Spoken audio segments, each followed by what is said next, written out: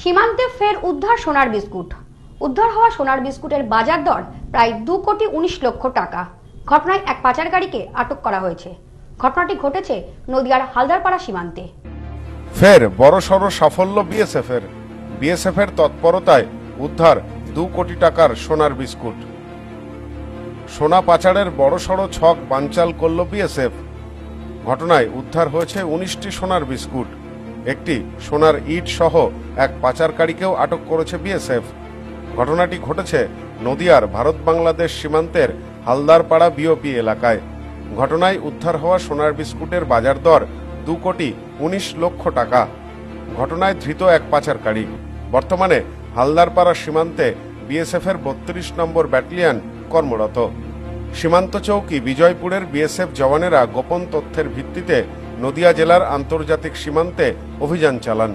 উদ্ধার হয় উনিশটি সোনার বিস্কুট এবং একটি সোনার ইট। ঘটনায় জড়িত থাকার অভিযোগে একজনকে গ্রেপ্তার করা হয়েছে। বিএসএফ সূত্রে জানা গেছে, পাচারকারীরা বাংলাদেশ থেকে ভারতে সোনা পাচারের চেষ্টা করছিল। বাজেয়াপ্ত সোনার ওজন তিন কেজি চারশো চুরাশি গ্রাম, যার আনুমানিক বাজার দর দু কোটি উনিশ লক্ষ টাকা। বিএসএফ সূত্রে জানা গেছে, গোপন সূত্রে খবর পেয়ে বত্রিশ নম্বর ব্যাটালিয়নের সীমান্ত চৌকি বিজয়পুরে নাকা চেকিং চালাচ্ছিল বিএসএফ জওয়ানেরা। সেই সময় এক ব্যক্তি সাইকেলে করে সীমান্তের দিক থেকে ফিরছিলেন। ওই ব্যক্তিকে দেখে সন্দেহ হয় জওয়ানদের। তাকে দাঁড় করিয়ে তল্লাশি চালায় বিএসএফ। ব্যক্তিকে দাঁড় করিয়ে তল্লাশি চালাতেই তার কোমরের কাপড়ের বেল্টে বাঁধা উনিশটি সোনার বিস্কুট এবং একটি সোনার ইট উদ্ধার করে বিএসএফ কর্মীরা। এরপর ধৃত ওই পাচারকারীকে আটক করা হয় বিএসএফ এর পক্ষ থেকে। জানা যায়, ওই পাচারকারীর নাম মিঠুন বিশ্বাস। বাড়ি সীমান্তবর্তী এলাকায় বিজয়নগরে। ওই পাচারকারীকে জেরা করতেই জানা যায়, বিজয়পুর গ্রামে বসবাসকারী দুই ব্যক্তির মাধ্যমে তারা এই কাজ করে থাকেন। আজ তার সাথে আরও দুজন সহকর্মী লাইনম্যান হিসাবে কাজ করছিলেন। বাংলাদেশের নাস্তিপুর গ্রামের বাসিন্দার কাছ থেকে তিনি এই সোনা এনেছিলেন। তার এই সোনা গ্রামের অজ্ঞাত এক ব্যক্তির কাছে হস্তান্তর করার কথা ছিল। তার আগে বিএসএফ এর তৎপরতায় সোনাগুলি বাজেয়াপ্ত করা সম্ভব হয়। ইতিমধ্যেই ওই ব্যক্তিকে আটক করার পাশাপাশি এর পেছনে অন্য কোনো বড় চক্র রয়েছে কিনা তা খতিয়ে দেখছে বিএসএফ। উদ্ধার হওয়া সোনাগুলি তুলে দেওয়া হয়েছে শুল্ক দফতরের হাতে।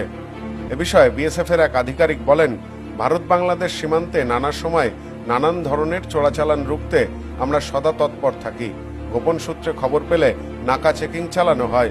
এদিনও সূত্রের খবর অনুযায়ী আমরা পরিকল্পনা করেই নাকা চেকিং করছিলাম। আর তাতেই মিঠুন বিশ্বাস নামে এক ব্যক্তির কাছ থেকে এই বিপুল পরিমাণ সোনা উদ্ধার হয়েছে এ বিষয়ে তিনি আরো বলেন तो इस क्रम में हमें कुछ जानकारी थी कि यहाँ पे कुछ होना है इस तरह से गोल्ड का स्मगलिंग कंसाइनमेंट यहाँ से निकलना है तो हमने एक स्पेशल ऑपरेशन प्लान किया था उस ऑपरेशन को प्लान करने के बाद हमने ग्राउंड पे उसको अच्छी तरह से एग्जीक्यूट किया और उसमें ये 3.484 केजी जो गोल्ड है एक मिथुन विश्वास हैं उनके पास से हमें मिला है जो यही लोकल है। इसकी कीमत है तकरीबन दो करोड़ उन्नीस लाख और कुछ हज़ार रुपए। तकरीबन thirty three thirty four years के हैं ये। लेकिन हमारा प्रयास है कि यहाँ पे अगर इस तरह की हरकत हो रही है तो उसको हम रोकें।